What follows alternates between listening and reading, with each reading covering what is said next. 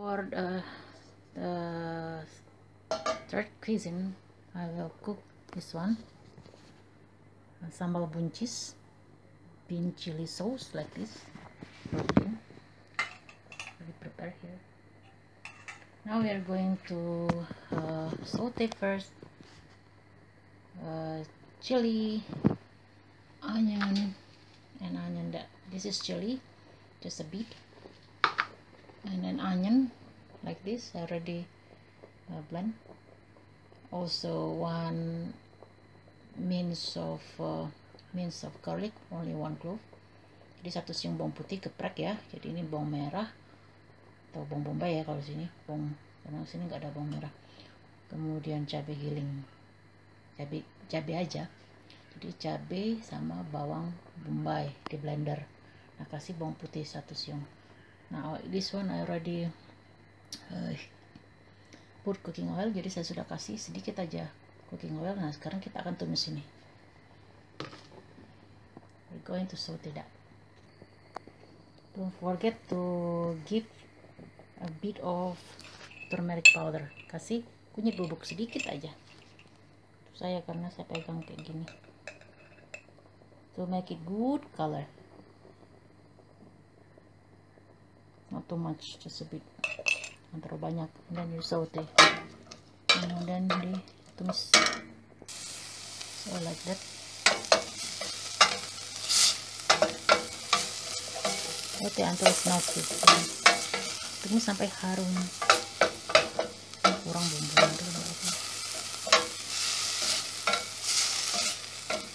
If you love spicy then you can add more chili. Me no because otherwise only me who can eat this. Jadi kalau mau pedas boleh ditambah ya. Saya kurangin pedasnya supaya bisa dimakan bersama.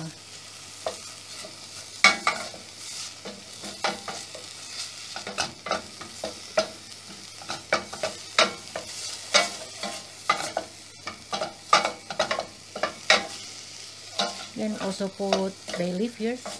Itu juga daun salam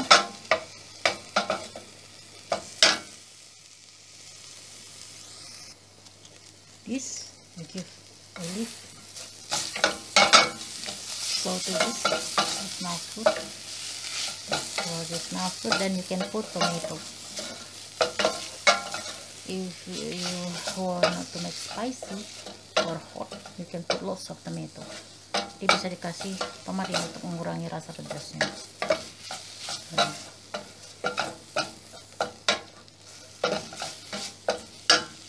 Now we are going I'm going to put tomato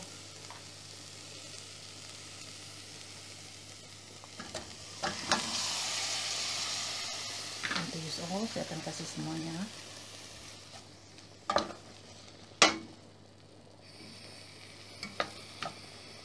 kayaknya udah masak ya oh, udah masak.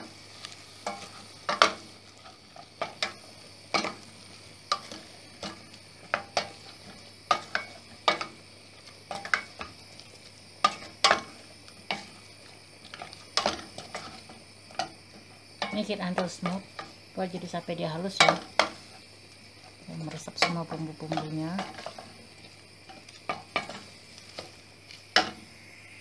Don't forget to give salt and sugar. Jangan lupa dikasih garam gula. Dan sama flavor how much you want for salt and for sugar. Jadi tergantung selera ya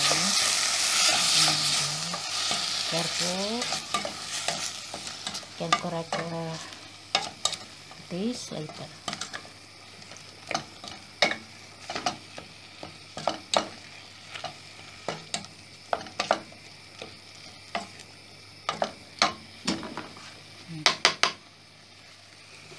this will be sour and salty.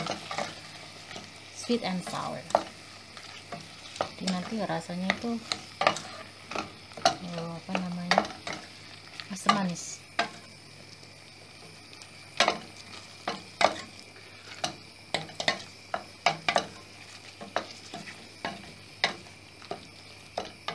So in this case I use only one chicken and then around three pedro no no no big three upper leg. Jadi saya gunakan satu buah ayam kemudian tiga buah uh, dada atas ya paha atas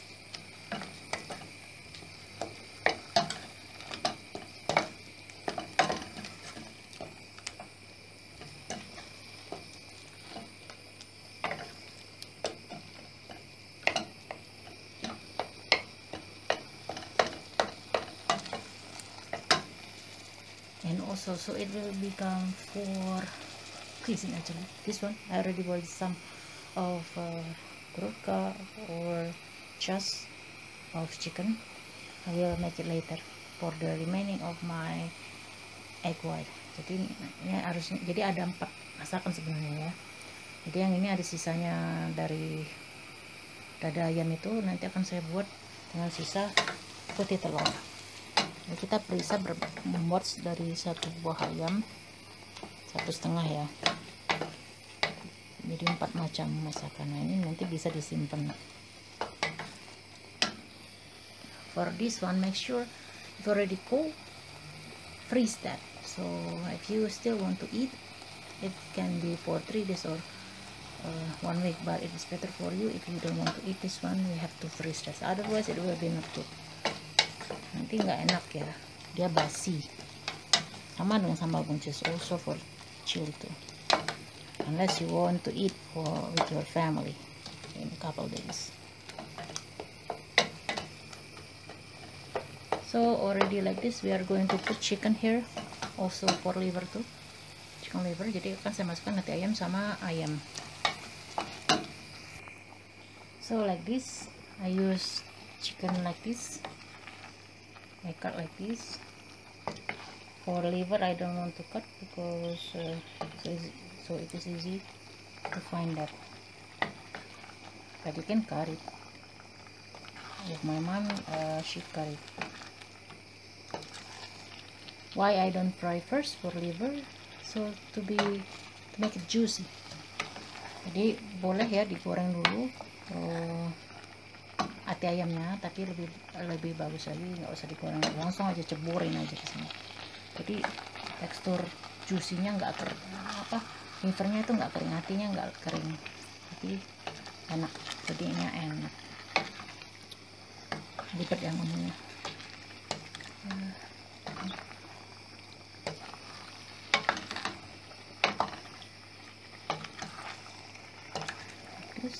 let it while biarkan aja dulu sementara.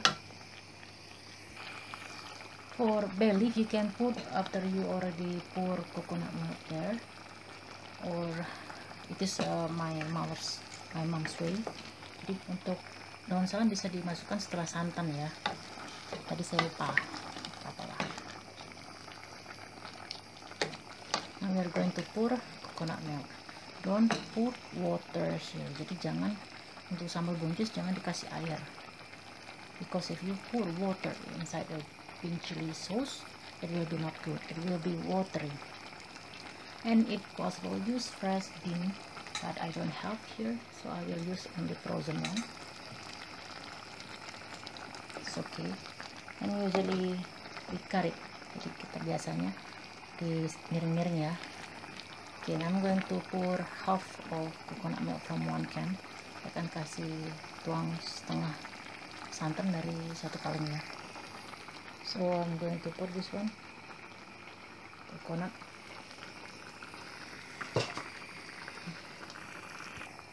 Okay already pour this be careful not to always stir this otherwise it will be not good. It will be broken. Of coconut and it will be broken for your coconut milk it will taste not good at all. So you have to wait until it becomes thicker make sure to use only uh, small fire. Gunakan api kecil ya. Supaya nggak pecah santannya kalau pecah nggak enak.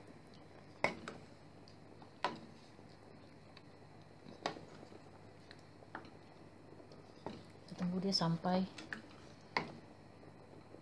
masak ya santannya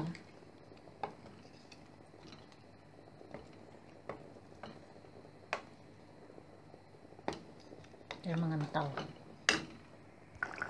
See this is for the result of uh, my pinchil sauce. See oily. You have to wait until it become thicker then you can put uh, bean long not long bean bean like this. I already cut it into slanted one. Jadi ini sudah saya potong buncisnya maksudnya dipotong miring ya. Ini tunggu sampai mengental dia ada, ada sudah keluar semua ininya. Minyak-minyaknya itu. Nah tunggu sampai dia mengental baru. Tapi kayaknya udah nih. Seems already but I just I have to wait. Become tikas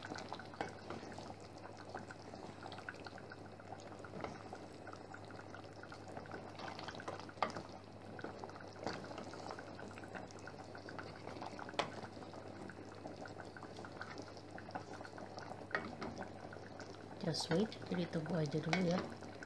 For buncis for bean already dry here. I mean for bean chili chili sauce already dry. See? Already as too now we put the bean our bean here inside. Jadi ini sudah apa namanya?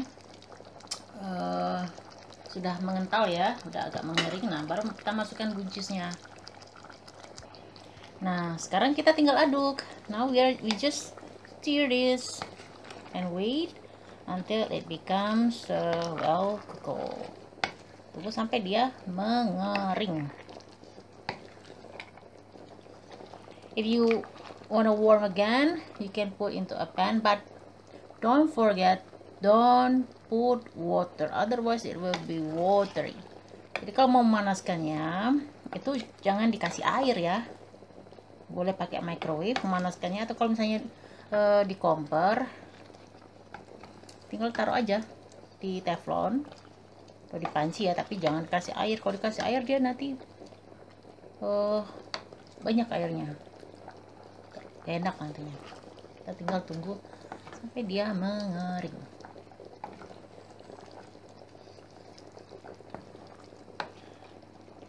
Usually my mom uh, make it very red awesome. But in this case I want my husband also eat this so I make it like this. Not too much not too much chili. Jadi biasanya ibu saya ya mama saya itu uh, buncisnya merah merona bagus sekali. Dan menggugah selera karena uh, apa namanya cabenya banyak. Nah, karena saya ini mau kita makan sama-sama saya mau makan sama-sama dengan suami saya supaya, supaya suami saya juga bisa makan maka saya kurangin cabenya.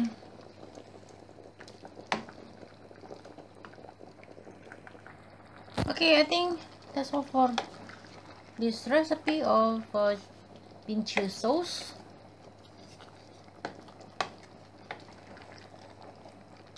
Chicken bean chili sauce.